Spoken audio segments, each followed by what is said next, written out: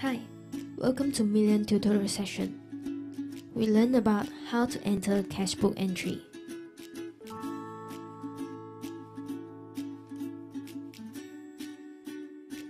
Go to cashbook menu and click on payment.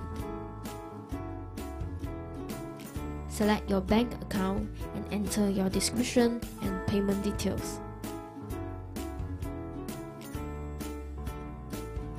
Enter or select your reference number.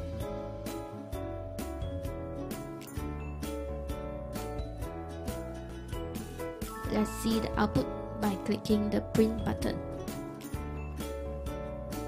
Here is the payment voucher sample. Next, cash receipt.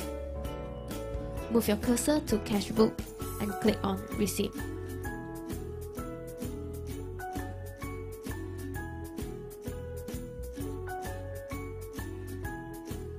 Enter the details that you want to print on your official receipt.